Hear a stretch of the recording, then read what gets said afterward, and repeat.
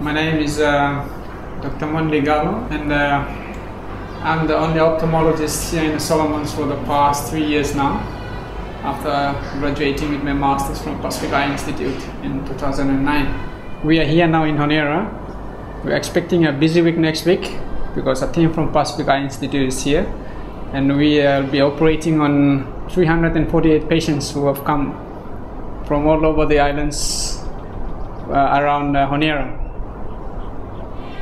Most of the eye patients who were coming, they have already been screened by the provincial eye nurses, our eye nurses who were based in the rurals. They went around collecting them, identifying them that they are the ones who will be operated on. And from there, we transported them over to Honiara by boat, mostly, and some of them will be by vehicles.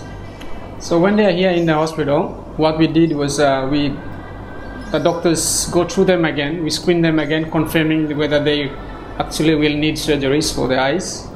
From there, we uh, plan them according to the days of the weeks. We'll have to do about 30 cataracts a day.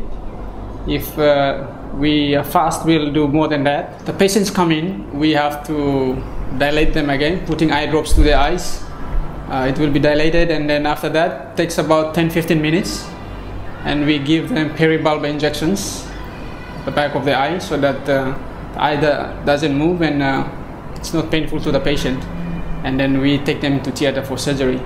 Actual surgery takes about 5-10 minutes, uh, was 15 minutes.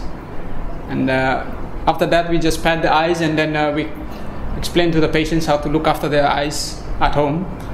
And after surgery on the day of post-op, that's the first day of uh, post-operative care, we will remove the eye pads, and uh, that's when we see the satisfying bit of the surgeries. And uh, different patients have different reactions to uh, gaining their sight again. Some of them they cry, some of them they hug you, some of them shouted. You give them surgery today, it's like a miracle. Tomorrow they gain vision, they hug you, they cry, they laugh. That's the satisfying bit of it.